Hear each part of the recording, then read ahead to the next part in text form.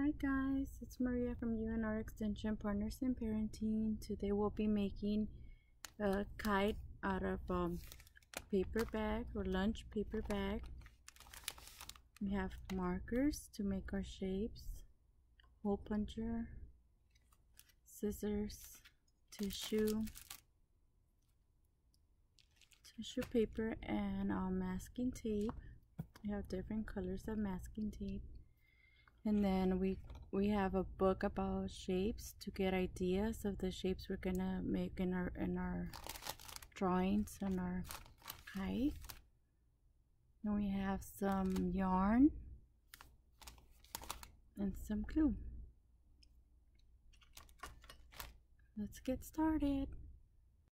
Okay guys and the first thing you want to do is make your shapes on your baggie um you could go around the house and do a shape hunt game um for example saying um what kind of uh, shape is the door? Is it a square? Is it a circle? So something like that to give them an idea uh, and let them use their thinking skills um uh, about what kind of um, shapes they want to do on their baggie. So that's an idea or you could also look through a shape book before you do your um your shapes on your baggie. Whatever you decide to do okay so once you're done filling up your um baggie with the different kind of shapes front and back or however you guys want to do it the next step will be making holes. Um if you don't have a hole puncher like this at home this one's called hole puncher remember whatever you do with your hands it's good for your motor skills and your fine motor skills when you're doing um, the drawings of your shapes and stuff. So um, first of all, we want to make sure we make a, a four holes. So it will be a hole in each side of the corner of the baggie, okay? So you could do one here and one over here and then on the other side. So we want to make sure we have four holes. Um, also, if you don't have a, a hole puncher at home, what you could do is use the point of a pencil to um, puncture the baggie, make a little, uh, to be able to poke it through the bag to make a hole, okay? Maybe you might want to help parents, that way they don't rip the bag apart. But uh, that that's an idea that you could do also a pencil if you don't have a, a hole puncher at home, okay? And once we're done doing the the holes like I'm gonna show you right now. I'm gonna make sure you make the holes first. Then once we're done making the holes we're gonna put tape where we make the holes. That way we could puncture it again make the holes on top. Oh what you could have done is put the tape first and then make the holes. Okay and the reason why we said to put tape is to strengthen the holes by covering them with um, masking tape, okay? So once you put the tape on there, we're gonna do uh, the hole again. So we're gonna put the tape on each side, like I'm doing it here. And then we just redo the hole again, okay? So once it's gonna look like this so make sure you tape it on the four corners that we're gonna need the the hole where we're gonna make the holes. Okay. So something like this okay on each side. Okay once you're done with your holes um you're gonna cut out five pieces of string or yarn whatever you have at home about a yard long so it's gonna be pretty long guys about a yard long. So we need five pieces of yarn or um or string okay? The first thing we're gonna do um once you have it cut out you're gonna put it through the hole. Through each hole you're gonna put a piece of string and tie it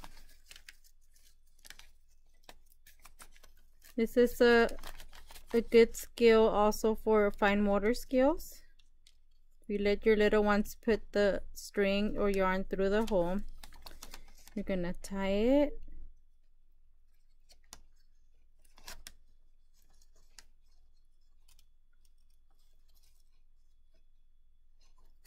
So you're going to do the same for each hole, okay?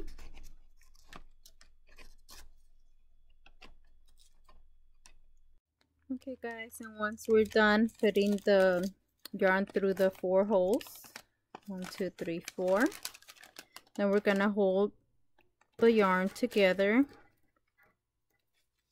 up uh, about six inches long. Um, you're gonna tie it, you're gonna use your fifth string that I told you to cut. So you're gonna tie this one tie it right here.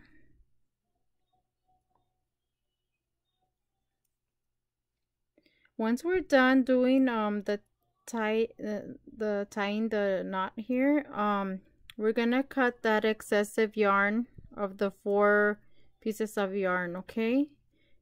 Because you're just gonna you're just gonna remain with the with the fifth yarn that we told you to um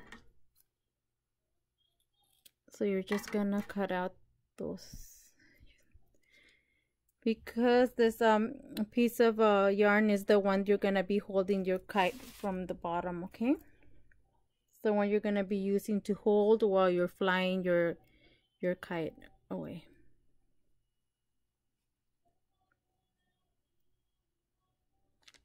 Okay guys and once we're done tying the string the string or the yarn uh, we're gonna cut out either uh, if you have a tissue at home you're gonna cut a little some little strips streamers uh, made out of um of tissue or if you have uh some of those party streamers you could use those if you have that at home or whatever color um whatever colored um tissue that you have at home okay so we're gonna start either gluing them down or taping them down.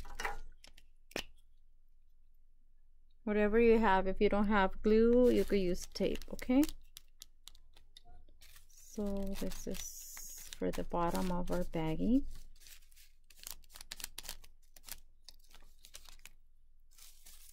And you could use different colors if you like, however you want to decorate it. Remember we're gonna let it dry also okay? We're gonna give it a chance to dry. So I cut three different kind of colors. This one's a little more light.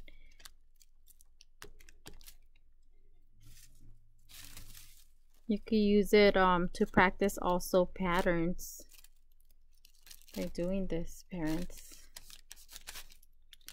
Could practice patterns purple, pink, purple, pink.